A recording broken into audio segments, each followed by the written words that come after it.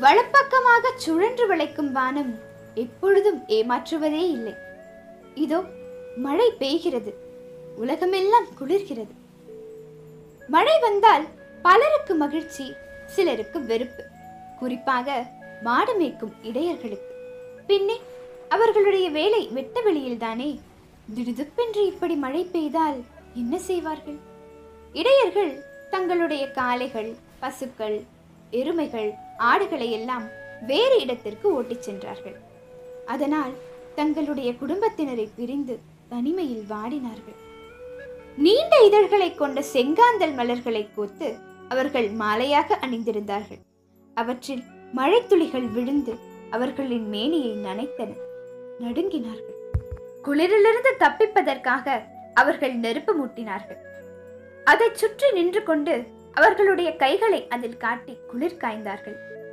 குளிர் தாங்காமல் அவர்களுடைய கன்னங்கள் எல்லாம் உடைத்து விட்டன. இடையர்களை மட்டுமல்ல குளிர் எல்லாரையும் தாக்க ஆரம்பித்து விட்டது. விலங்குகள் புல்மேய்வதையே மறந்து விட்டன. குரங்குகள் குளிரில் நடுங்கி உட்கார்ந்து விட்டன. பறவைகள் பறக்க முடியாமல் தடுமாறி விழுந்தன.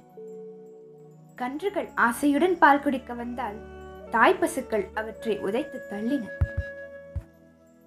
புதர்களிலெல்லாம் மென்மையான முசுண்டை கொடிகளும் பீர்க்கங்கொடிகளும் படர்ந்திருந்தன.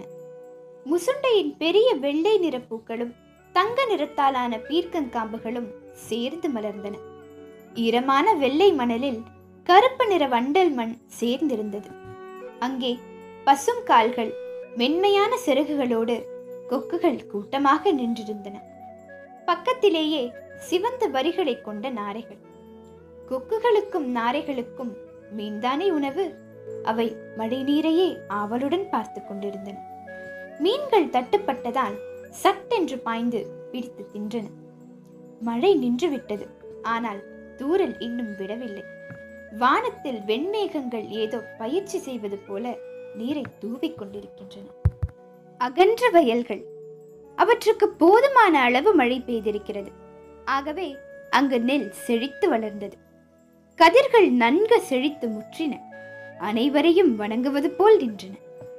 இன்னொரு பக்கம் நன்றாக வளர்ந்த பெரிய பாக்குமரம். அதன் கழுத்து பகுதி நீல மணி போல் தெரிகிறது. அங்குள்ள மடல்களில் பாக்கு குலைகள். அவற்றில் இருக்கும் நீர் வற்றிப் போய் பச்சை காய் முற்றி இனிமையாகிறது. மலை உச்சியில் பெரிய அழகிய சோலை. அங்கு ஏகப்பட்ட மலர்கள் பூத்திருக்கின்றன. அதன் நடுவில் ஒரு குருந்த மரம். அதன் குருத்துகளிலிருந்து இன்னும் மழைத்துளி சுட்டிக்கொண்டு